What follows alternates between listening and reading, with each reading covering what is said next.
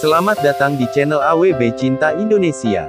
Sebelum kita lanjut, silahkan like dan subscribe ya kawan-kawan sekalian. Salam sehat dan semangat nasionalisme.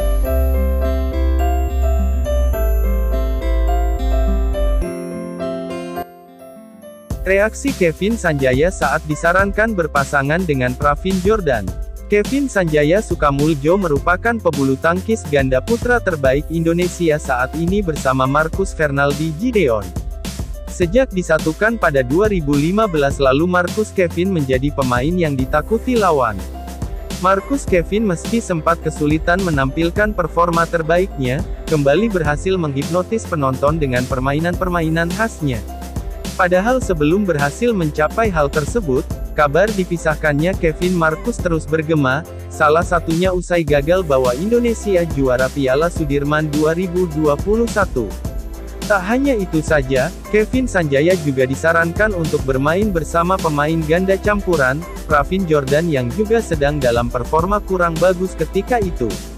Menyatukan antara Kevin dan Pravin Jordan sebetulnya bukan hal yang aneh, pasalnya Kevin dan Pravin sendiri pernah dipasangkan di ajang Jarum Superliga Badminton pada 2015 lalu untuk membela tim PB Jarum Kudus.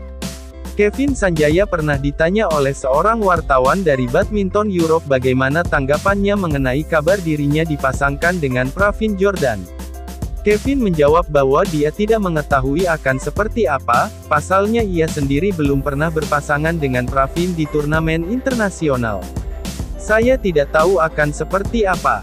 Karena saya sendiri belum pernah berpasangan dengan Pravin Jordan di turnamen internasional.